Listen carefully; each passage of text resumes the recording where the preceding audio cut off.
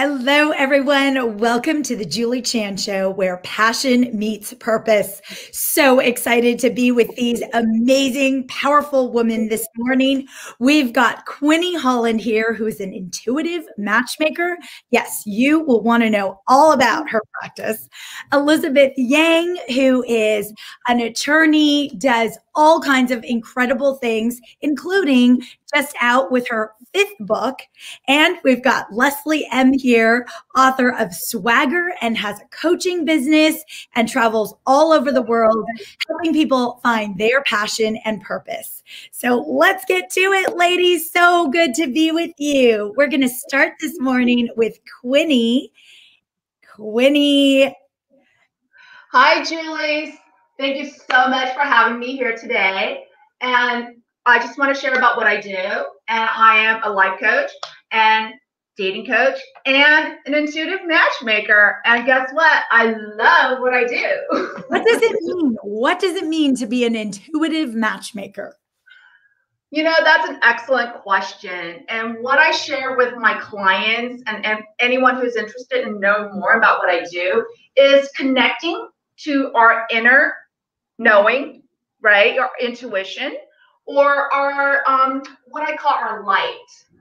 You know, so it's a beautiful way for us to remember who we are. So how intuitive matchmaking works is I work with clients who are a bit challenged in calling in their one, right? Or if they're in a relationship, they're wondering if this is the right person for them, yes.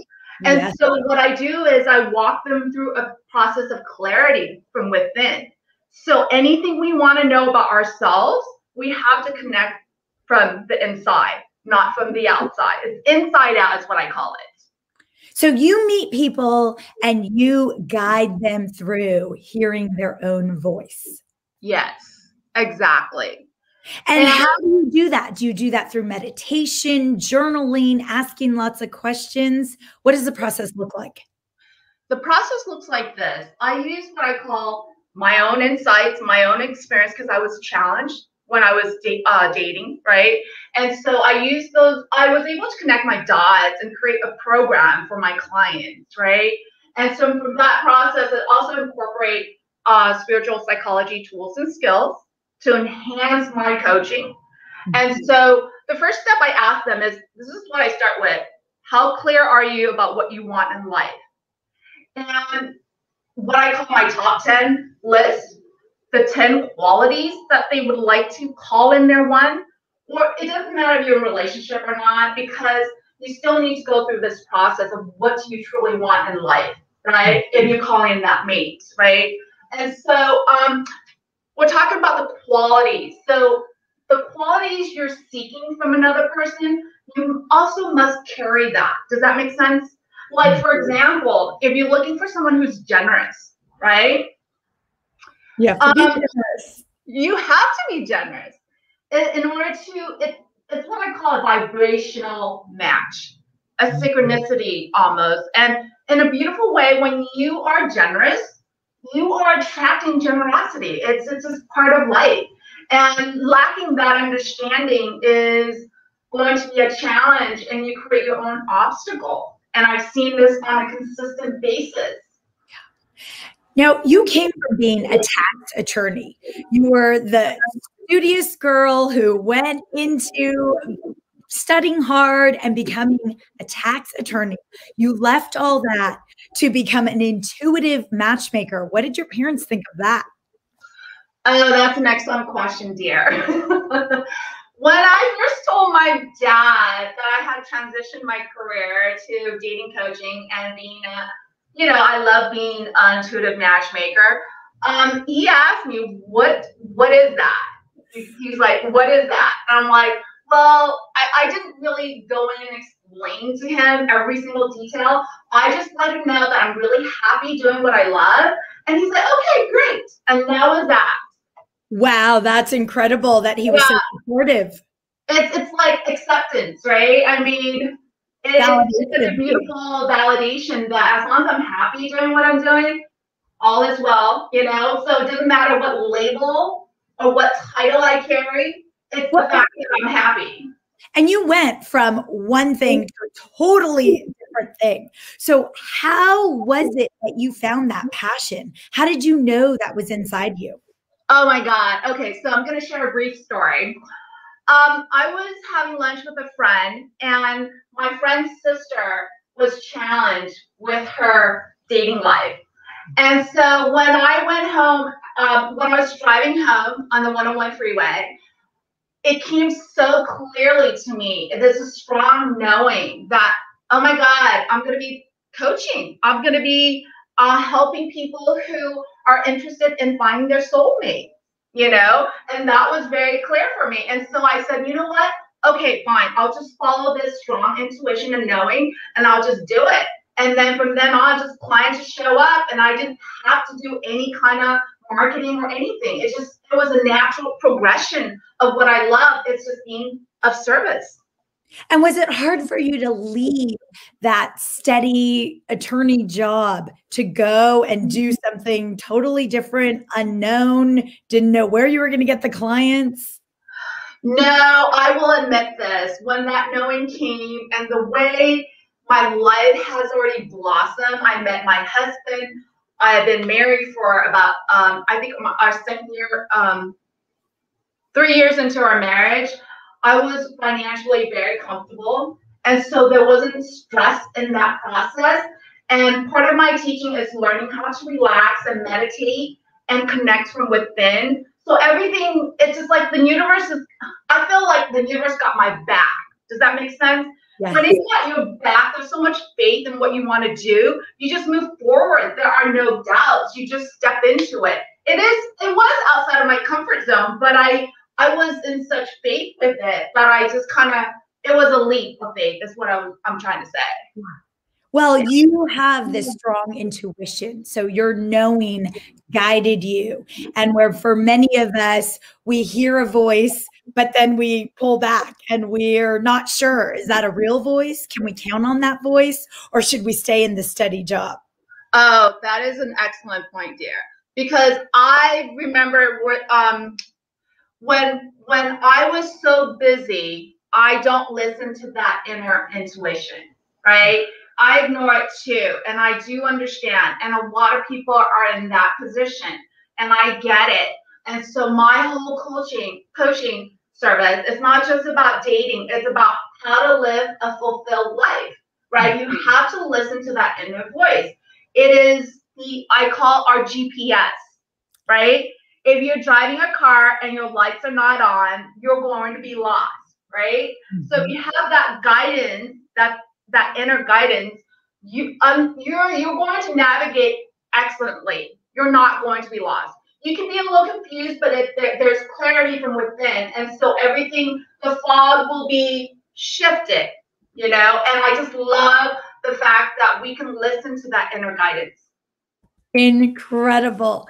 Thank you so much, Quinny. There is just so much more you could share with us. But for anyone watching, auspiciousconnections.com, they can join your workshops. They can be guided by you. You are incredible. Love what you're doing. We'll Thank you, my dear. We'll bye bye. Elizabeth Yang, so good to be with you. You are this amazing attorney. You have your big law firm, you manage so many people, you have your fifth book just came out and you are a mother of two kids. You juggle it all. You travel every weekend. You post all these amazing pictures on Facebook constantly. You're so genuine, so engaged always. How do you do it all? Thank you, Julie. You are too kind. Well, you know, everyone's got 24 hours in a day. And so it, all comes down to what we set our intentions on and what we're aiming to create day by day. I, I have a planner that I actually write in every single day. And I write down every single thing that I'm setting my intention to do and it's amazing pencil to paper or pen to paper it really manifests it as a reality and do you do this the night before do you write down everything you're going to do the next day or do you do it in the morning what is your process I write in it throughout the day. So like as I check emails, right? If someone's like, "Oh, let me um uh I want to meet with you for lunch on this day," I write it in. You know, if like I have a reminder like, "Okay, let me uh complete the first chapter of my book by Friday," I write it in. So throughout the day as events come and invitations come, I update my planner and you are on is always on it and you're just checking the boxes as you complete things Yes. And for goals, I have a first page in the planner that I have like all my goals for the year. And then I have like um, separate pages for each month with my goals for the month. So I'm like always setting different goals um, depending on whether they're short term or long term or, you know, whenever I want them to be manifested. You used to work for a law firm and then you left and you started your own and you manage about 20 attorneys now how did you go from you know working for somebody to then creating your own practice and your thriving practice?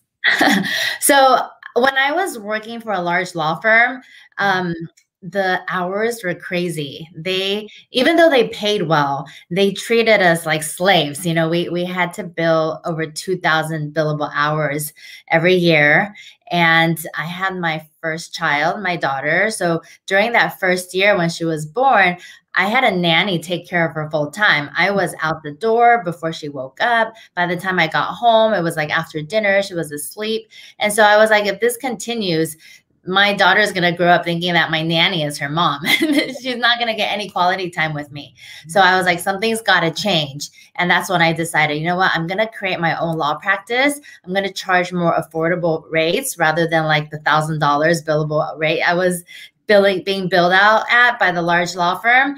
And so I came out on my own, took a risk, and I'm so happy that I did because now, you know, I'm able to create whatever schedule I want. I can go pick up my kids, drop them off at school, take them to tennis lessons, you know, do whatever I want because I set my own schedule. I'm in charge of my business.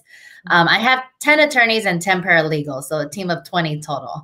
But um, we're growing because we specialize in family law. That's one of our biggest uh, specialties. Mm-hmm. And in the during the pandemic, the number of divorces has been on the rise. Mm-hmm. You know, so many couples don't know how to cope during the quarantine, and they're like stuck together with no way out, no space. And so, like, the easiest resort is to file for divorce.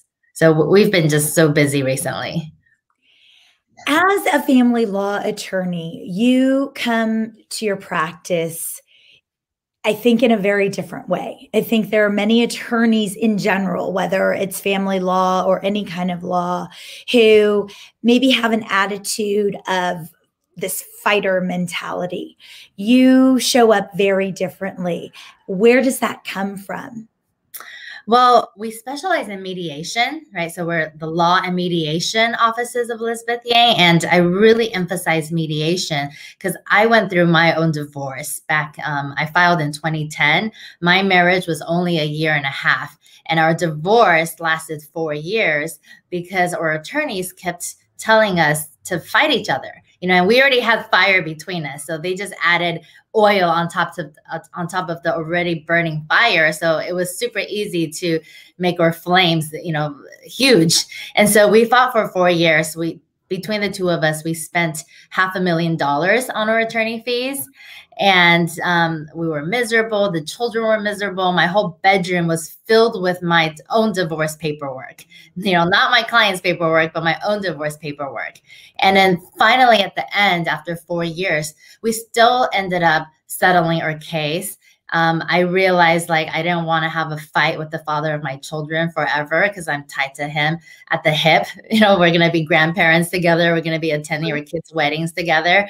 So uh, I decided to become friends with him and settled the case um, and mediated. So now when clients come to me, I share my story with them and I tell them you can either choose to fight the same battle I did, repeat my footsteps because you're not the first person going through a divorce. So many other people have gone through it, or you can learn from my lessons and jump to the mediation step a lot sooner and save yourself a lot of attorney fees you know, I tell them straight up, you can save up for your own kids' college tuition or pay for my kids' college tuition. the choice is yours. And I definitely prefer you guys mediate because it's so much more rewarding to me when I see the impact it's making in families and in, in kids' lives. Incredible. You're so powerful in everything that you do, and you do it with such great intention. How in the world did you find time to write five books also? well, my my latest book, um, which you talked about earlier, social marriage. Um, I really wanted to get this message out to the audience, so that was my motivation to spend that time writing my the story. And so the concept of social marriage is it's something that my husband and I practice. Um, you know, the concept of legal marriage came all the way from the middle ages you know so far so long ago. And it came because like women back then didn't have equality with men and women had to get married to a man in order to take on his last name and in order to own property through her husband. Nowadays you know the times have changed so much. Like women and men are equal. We can own property on our own. And yeah. so um, with the divorce rate being at over 60%, you know, over 65% in Los Angeles, there's so much more uh, benefits to social marriage rather than legal marriage. Uh, one thing is that when you get uh, legally married, all of your debts and your husband's debts are combined. And so creditors can actually come after both of you guys now rather than one person. And a lot of people don't realize that. So there's like a lot of like consequences um, and terms that you're agreeing to when you sign that legal marriage license that, right. that people don't realize. It's literally like signing a legal agreement without reading the terms, right? There's like community property. There's the spousal support that's calculated using the DissoMaster. There's like all these terms that people have no idea they're getting themselves into right. until you know one day divorce comes around the door and then they need to like learn everything at that time. So, social marriage is being in a loving, committed relationship, choosing to be with that person without requiring a legal document, without requiring government approval to, to evidence that commitment. Like Quinny was saying earlier, it's from the inside out, right? So that love and that commitment is something we choose on a moment by moment basis. Right. You don't need a, a license to prove it. Right. And you don't feel forced or trapped because of the legality of it potentially later. Absolutely. Yeah. And then people also can't use it as a fighting tool. You know, so many couples, they fight and they're like, I'm going to file for divorce and sometimes they don't even mean it but because it's there they use it as mm-hmm. as ammunition to to like you know fight the other person. When you're in a social marriage you either choose to stay together you choose to break up. There's no ammunition. You don't need to use that tool. Was was becoming an attorney and helping people in this way always a passion for you um, helping people definitely was. Being an attorney was like never in my calling growing up. My undergrad was actually electrical engineering and computer science. So I was like total nerd, uh, great at math and science, went into engineering, designed radars for the B 2 bombers for five years until I shifted into law. So everything happens for a reason. And, um, you know, Leslie, who's going to be talking next, she'll she'll talk about how sometimes like you just follow and go with the flow, and you know when the when the right energy is there, it feels right, and you just go along with it and know it's for a greater good. Incredible. Love all that you do for your family, for the world, for everyone around you. You are an incredible being. Thank you so much. We'll be back with you in a minute. Thank you. Hello, Leslie. Hey, Julie, how you doing? Congratulations on your book and your first debut book, Swagger. I love it. Swagger. Why Swagger? Why did you decide on this name? Well, I spent the last 13 years traveling the world working with Fortune 100 organizations and and I've had the, the pleasure of being in, in front of rooms filled with these incredibly ambitious and and passionate humans. What i discovered about all of them regardless of the country i was in the culture the the company or the level of the individual whether they were c level or or new entrants what i discovered was that at the core most people just did not believe that who they were authentically was good enough to bring them success and that they could not show the world who they were and still achieve their dreams. And when I realized that, it completely broke my heart because this is the this is the worst thing I can imagine for anyone is to walk around feeling like who you are is really not good enough. And I shifted the the way that I was training people. I mean, I, I was sort of doing that anyway, but I went way way deeper into that and started to focus on that. How do I help people to unleash that part of them that they're hiding away from the world that is really the most powerful, the most differentiated, the most electric, the most connective thing about them and prove to them that it actually be good for them and not bad. And I identified that quality as swagger, but not that old kind of show off, peacocky, in your face, arrogant kind of swagger. Uh-uh, hell no, girl. That is not my kind of swagger. What I'm talking about is my definition. And that's the ability to manifest who you really are and hold on to it in the face of all of that psychological crap that's going to come for it, regardless of the situation or environment. So it means you have one face, one truth, one heart, and you bring it to every party you go to, no matter who you're with, no matter how high the stakes are, or no matter how challenged you are. And it's become my my complete passion and purpose.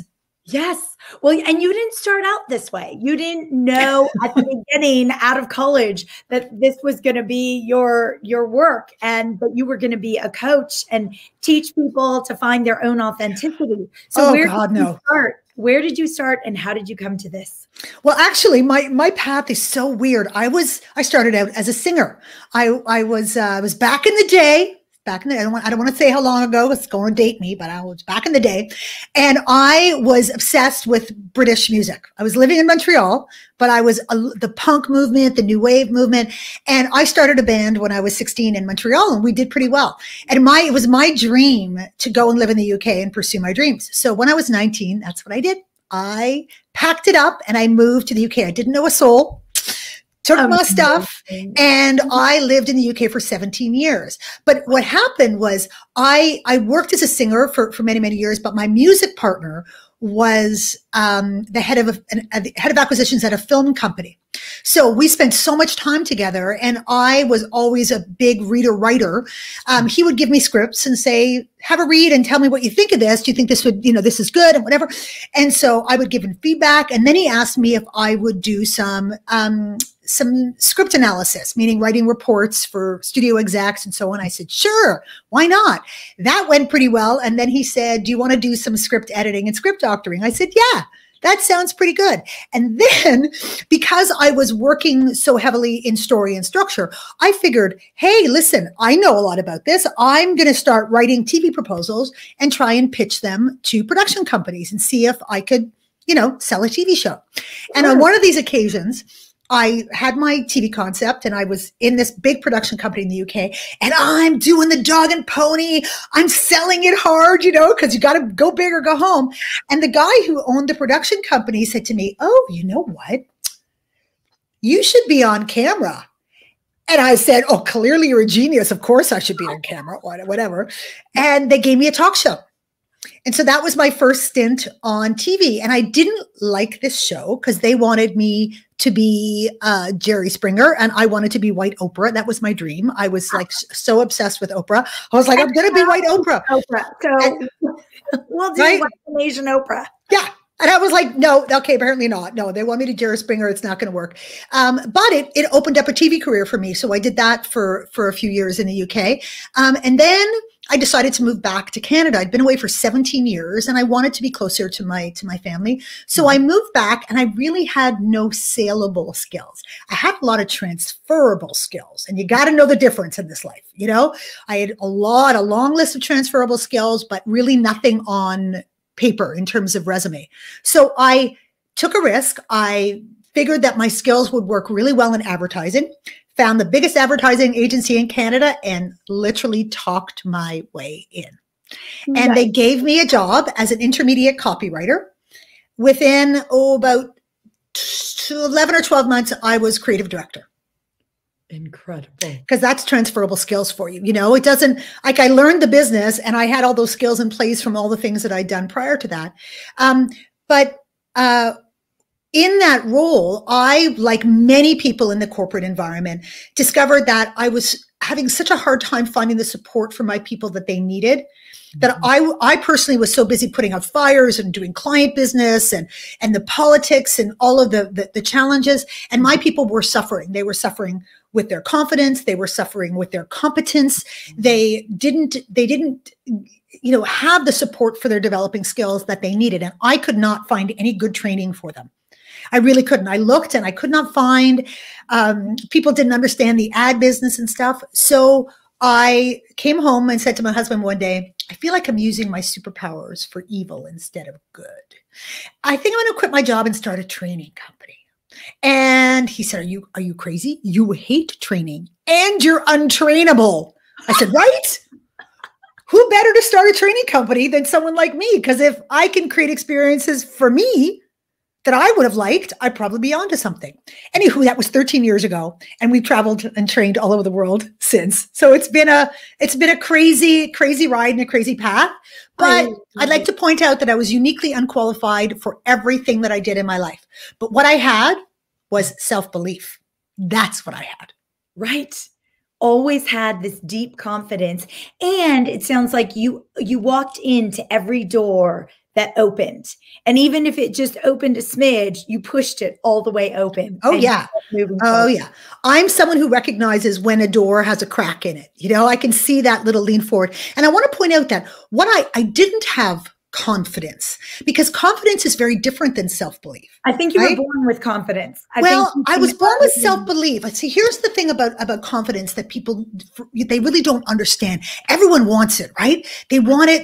It's like it's like the the nirvana of being according to to most people. And they'll do anything to get it. They'll fake it to get it. Mm-hmm. They'll pretend, they'll do anything to create the illusion of confidence. But the, the truth is you can only gain true legitimate confidence mm-hmm. through competence only when you've when you've done something over and over and over again enough times to convince your very resistant brain that yeah I, I pretty much got this like you could throw me in a bunch of situations and i'd be able to handle myself you know baseline i'd be able to handle myself only then can you experience that thing called confidence and the problem with the fake it till you make it thing that everybody's telling you to do, which by the right. way, don't do it, bad. But everyone's telling you to do this. Everyone else can feel that. Right. And and the thing is that the fact that you're running around telling everybody that, oh, I got it. I know what I'm doing. I'm all over it.